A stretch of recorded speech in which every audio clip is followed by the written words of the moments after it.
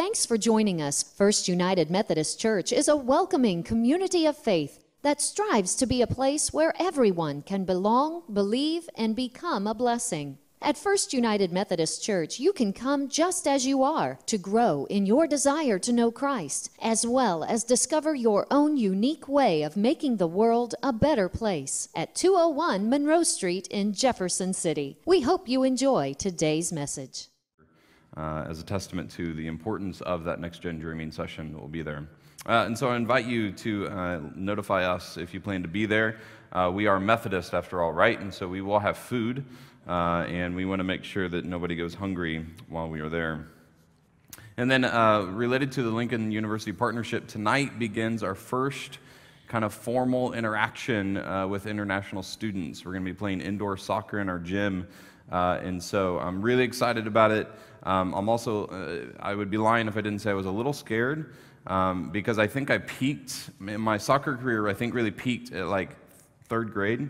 Um, That's not true. It's like fifth. Uh, but it'll be just a great time. Uh, you know, soccer is just the, the means by which we build relationships.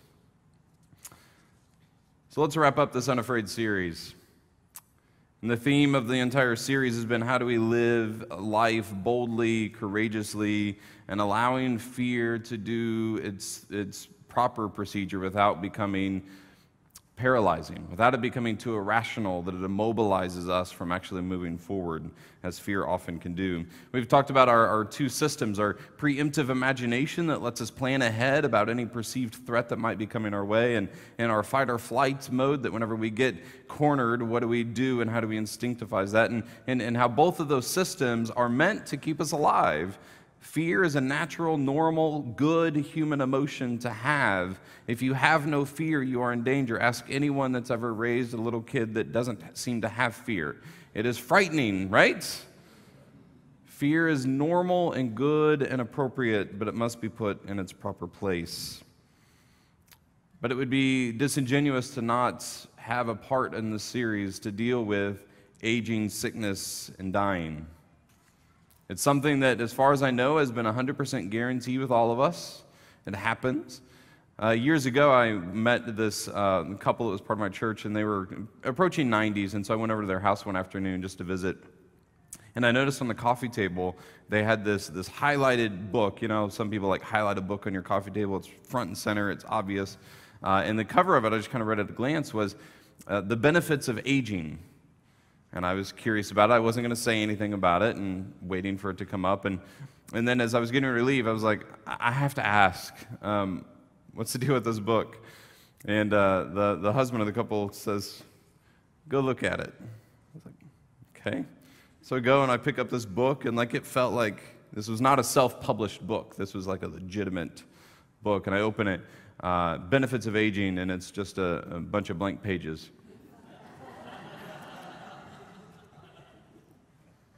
As a culture, we spend millions, maybe even billions of dollars on cosmetic surgeries, on products to fight off the idea of aging.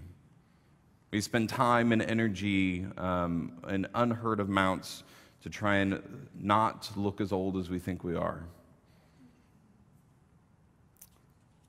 Paul was writing to 1 Corinthians in chapter 15, which is part of a Roman culture which uh, the Romans and us have uh, eerily similar uh, characteristics at times. And, and one of the things that the Roman culture was defined by is their vanity. That they too spent millions and millions of dollars and resources on looking younger and trying to ward off the idea of dying. And so Paul was writing to his First Corinthian congregation and reminding them of the hope we have in Jesus Christ that defeats death. And he says this says, When this perishable body puts on imperishability, and the mortal body puts on immortality, then the saying that is, is written can be fulfilled that death has been swallowed up in victory.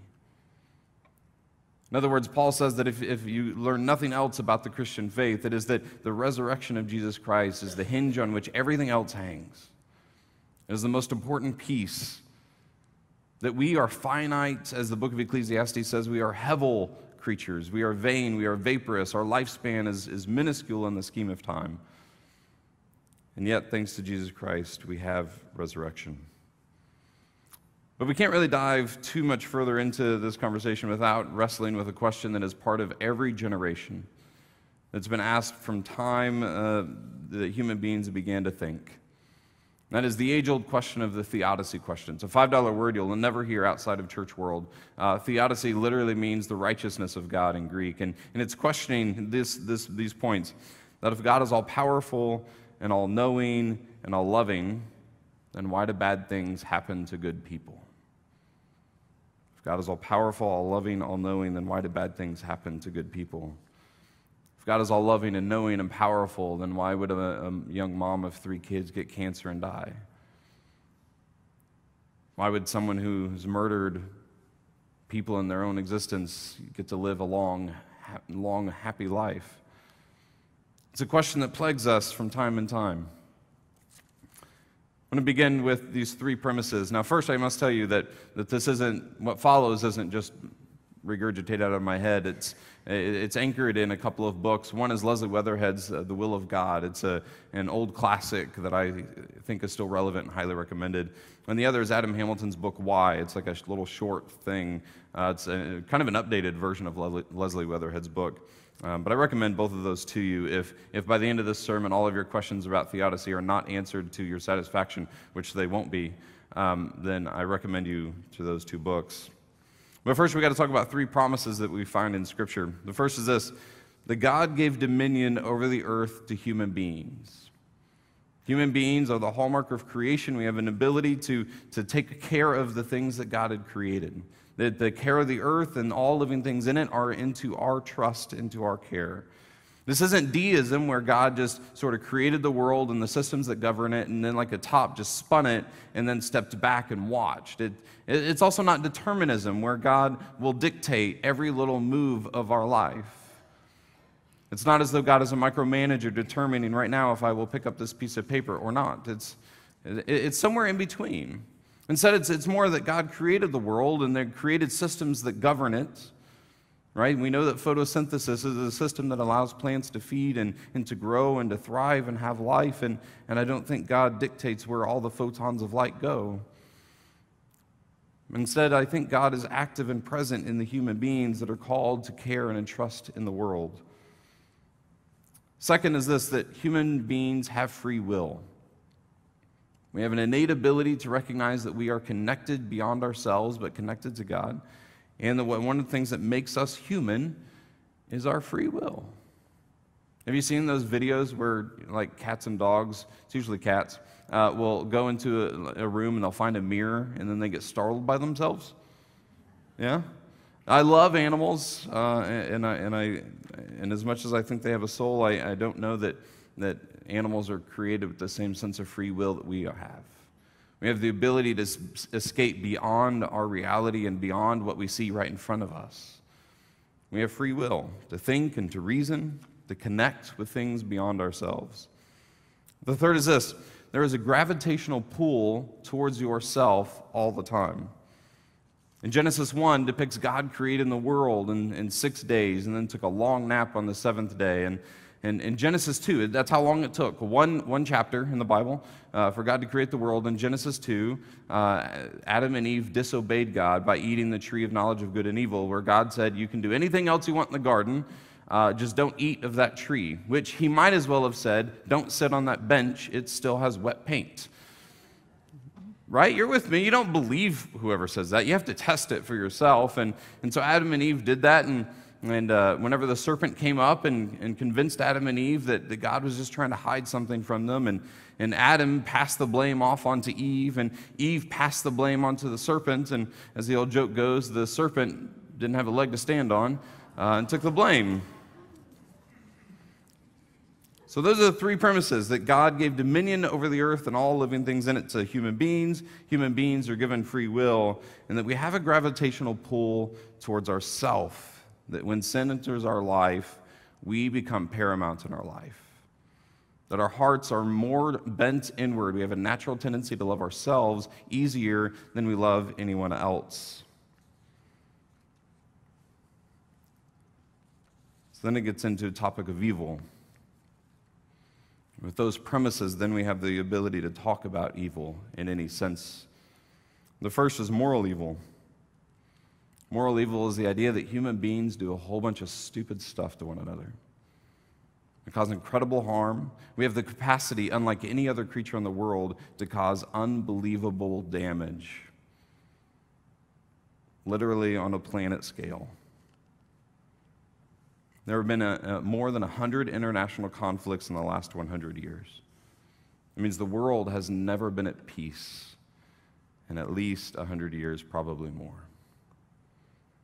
And I also don't even have to mention uh, mass shootings that have existed in our own country, or oppressive regimes such as in Syria, Hungary, and, and North Korea. And the question always happens, and, and, and it should, um, particularly after mass shooting, of why did God not stop the gunman from pulling the trigger? Why did God not step in? I think if I was a parent at Newtown, Connecticut, after a young man walked into the school and, and killed uh, uh, teachers and children, if I was one of those parents, I would be asking the question every day of my life for the rest of my life why, God, would you not? Why would God allow such innocent children to be killed while a, a teenager that knew full well what he was doing?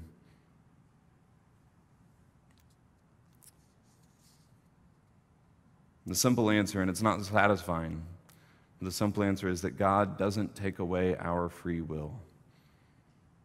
As much as we wish we, God might, God doesn't take away our free will because the moment we lose our free will, we become less than human being. We become a puppet. We become just an animal. We become a creature, a cog in the creative wheel. We lose our humanity.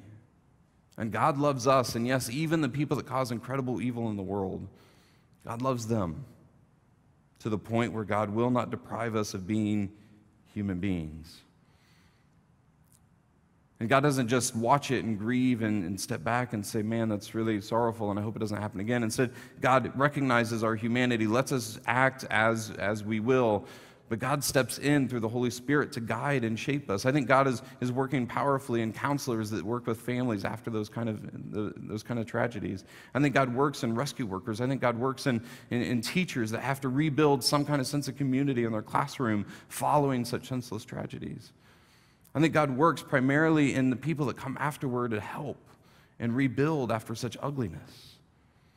God isn't abandoning us and letting us fend for ourselves as though we're in a giant cage match in the world. But God allows us to act as we will, for good or bad. And God grieves with us. God surrounds us, cries with us. And then God act, asks us to move, to inspire us to do good in the midst of moral evil. Then there's natural evil tornadoes, earthquakes, floods, fires.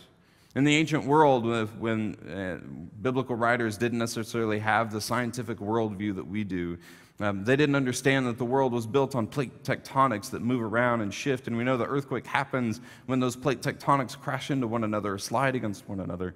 They didn't have that understanding, that worldview. And, and, and much like biblical writers and any writers of the ancient world, anytime there was a natural disaster, it was always attributed to God, who, who surely must be angry about something. Well, today we have a better understanding of how the world works. We, we know that the inner core of our planet is made of such hot magma and lava that, that if it doesn't have some way to dissipate the heat that continues to, uh, to, to fester and to grow, then, then the world will literally explode. And none of us will be around to see the fireworks. And so we know that earthquakes, as the plate tectonics shift around, what it does is it actually creates uh, cracks in, in the upper crust of the earth and allows the heat to escape. That's what volcanoes are. It's allowing the temperatures of the inner core of the earth to escape, and so the world doesn't explode. And we know that uh, hurricanes, as, as devastating as they can be, as we witnessed just in Puerto Rico a couple of years ago, and in Houston and Florida, and, and uh, one even just recently, that, that hurricanes do incredible devastation. But you may or may not know this, but uh, hurricanes, if hurricanes didn't exist, the world then would also quickly decay into death and chaos. Hurricanes bring rainfall to places that desperately need it. There's a red tide that builds up in the ocean, this bacteria that, that gets so large that actually can kill aquatic life in the ocean. And, and hurricanes will pick up that red tide and dissipate it across the world and allow it to not get, become too big. It balances temperature between the equator and the poles. Uh, and, it, and, it, sends the, the heat from uh, dissipating into the far reaches of the earth to not allow one spot to be too warm. And actually, I find this interesting that hurricanes have the ability to pick up sand and sediment from the bottom of the ocean floor and to pick it up and hurl it through the atmosphere and, and send it to places in need. And so hurricanes actually help rebuild reefs. And all of that happens in the midst of a hurricane. Now, it's also true that hurricanes are beginning to get a little more aggressive and larger over time and more frequent. But the way the earth is built up and the systems that allow it to govern, hurricanes actually give benefit and give life. And so we have an option. We can either allow people to not live in places where natural disasters are more likely to occur, or we can distribute wealth more equitably and allow those people that live in the line of natural disasters to be able to build infrastructure so that they can withstand such natural disasters. In 2010, the, the earthquake that struck Haiti was, was devastating and killed 3,200 people. And why it killed so many people primarily is because the infrastructure, the buildings themselves on the island, were so old and decrepit that they fell apart. Had they had better infrastructure, had the buildings been more secure, then maybe less people would have died. And if you ever have this, um, you guys may do this, you ever have this list ongoing in your head that, that whenever you die and you get to go visit with God, that like these are questions you want to ask? If you don't have that list, you should. I've, I've got a long one. Um, and one of my questions I want to ask is I understand that, that all these incidents happen to allow life to sustain on the planet.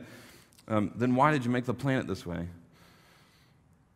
Maybe it's because our, our world, as beautiful as, as, it, as it is, is only beautiful because of the chaos and wonder that we get from natural disasters. And maybe that's possible, then, then, then why didn't you make a different world? And a lot of the suffering. And I, and I don't have an answer for it. Maybe we'll never know. But we do know that natural disasters are not God's way of punishing people for anything. They're just the way the world works. And we as human beings have an obligation to not live there or to care primarily for those that do.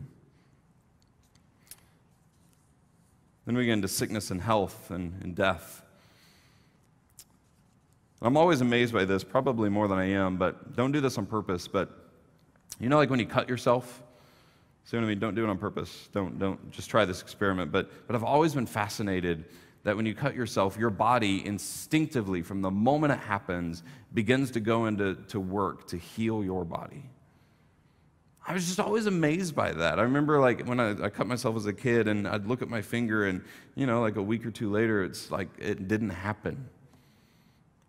Just amazing that your body just does that. If you've got a cold or a, a virus in your system, your, your body goes to work. And the immune system begins to happen and it sends the right cells to the right place, and you don't have to think about it. You don't even know it's happening.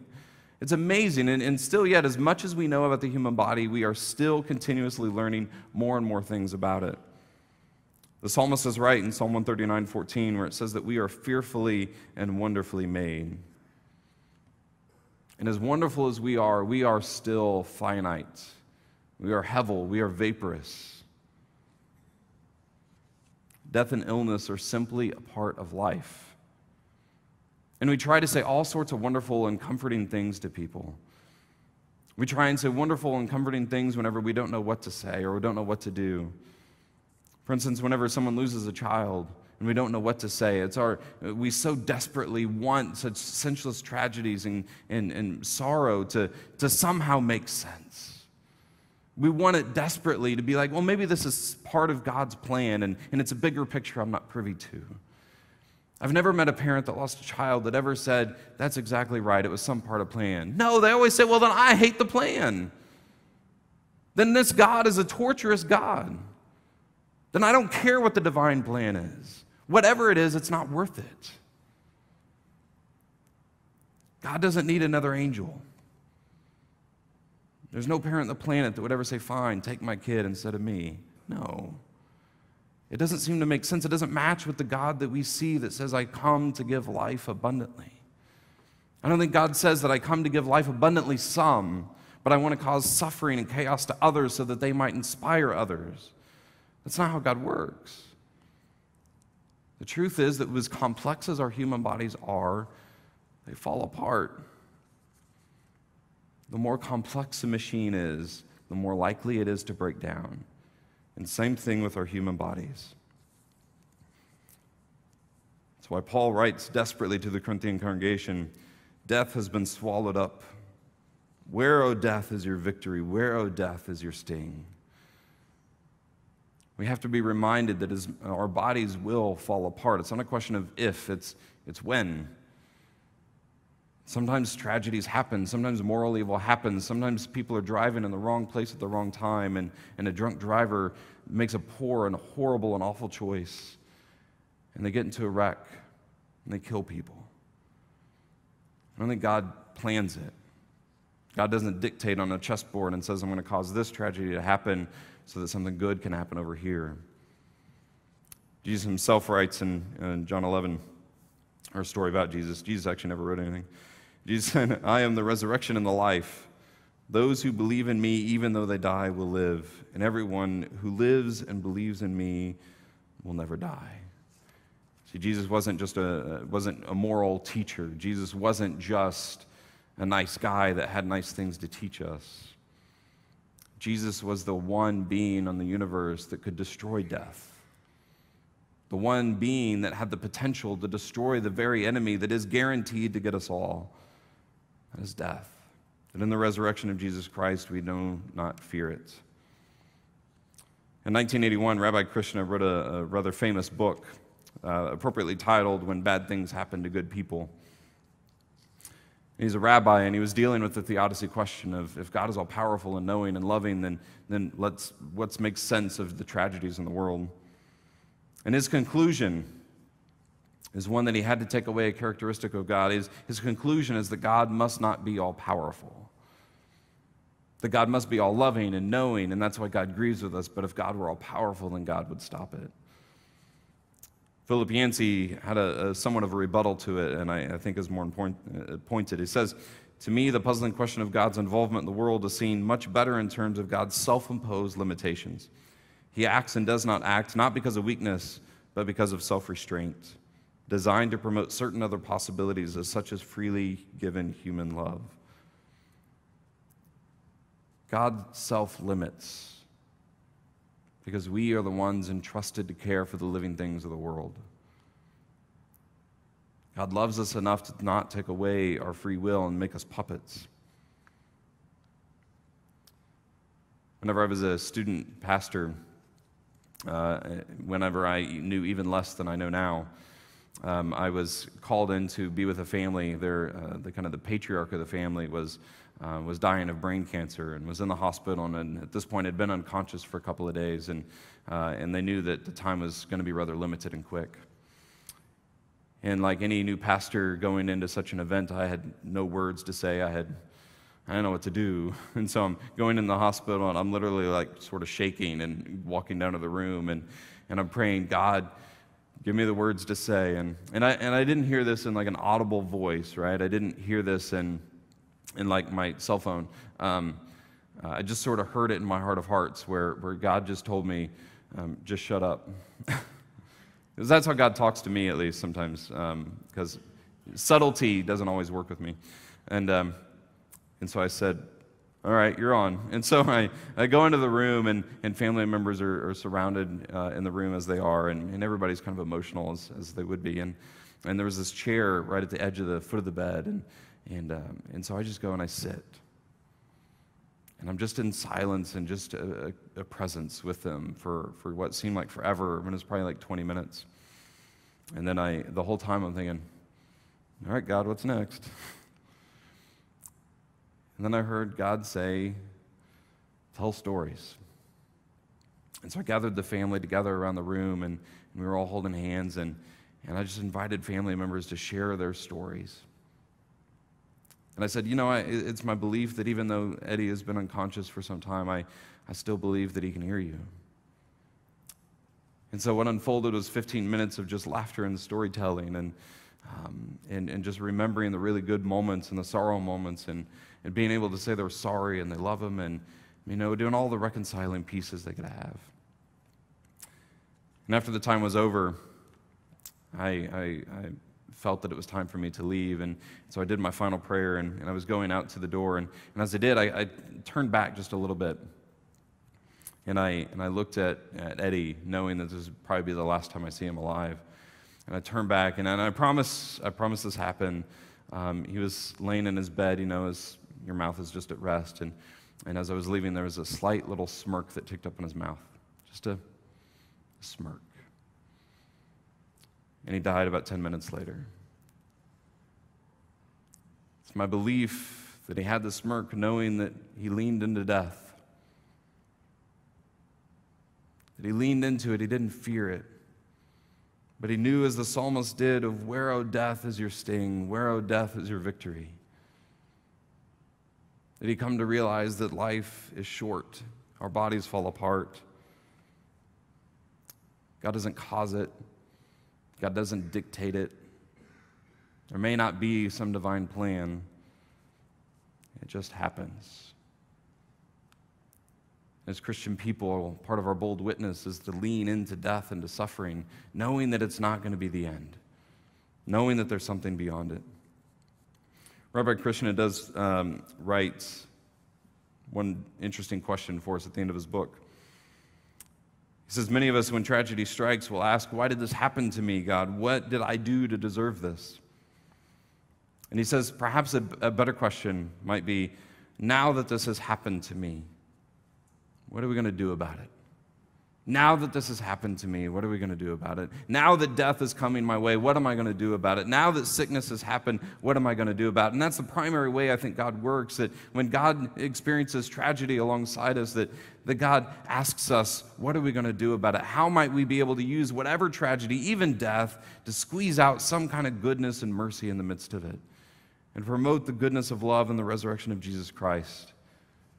We lean into death. We enter it unafraid, not as defeated organisms, but as souls who are victors and nothing less. How might we lean into death and suffering and expect God to work and move in the midst of it? God, we come to you this morning knowing that we experience a lot of tragedy in life, a lot of suffering. And there are pains that, that will not go away, that will be with us for the rest of our life, but they, they may change. So, God, I pray that you would be with us whenever you call us to be your ambassadors to people that are suffering. You remind us that we are not called to provide satisfying, holistic answers. And sometimes you call us to just be and to be quiet and to be present. So give us the courage to do just that. Give us the courage, like you, to cry and to grieve with people without trying to solve the question.